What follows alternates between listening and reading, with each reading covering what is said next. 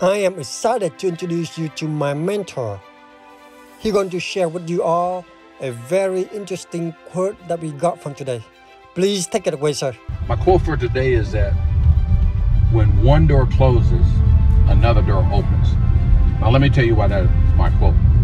I'm out eating dinner with my mentee, William Vu. We're talking about Vietpreneurs, we're talking about black entrepreneurs, we're talking about changing our business models, and I'm sharing with him the pain that I went through of losing one of the largest contracts that I've ever had in my life with a company called AT&T. But I'm also sharing with him now how I'm living my dream, writing my books, and doing all the things that I've always wanted to do. So while we're sitting there, the waitress drops a whole tray of food in my lap, and I respond in laughter.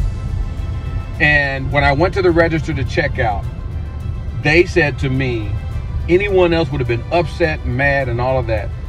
We're so happy the way you reacted. And thank they thanked me. They took some food off my off my bill. But it just lets you know that when one door closes and another one opens, even your attitude changes. And so my that door that closes did not just close for business, it closed for attitude and behavior. And for that, I'm a new person. So remember, when you hear this message, always understand when one door closes, another door opens. I'll see you at the top.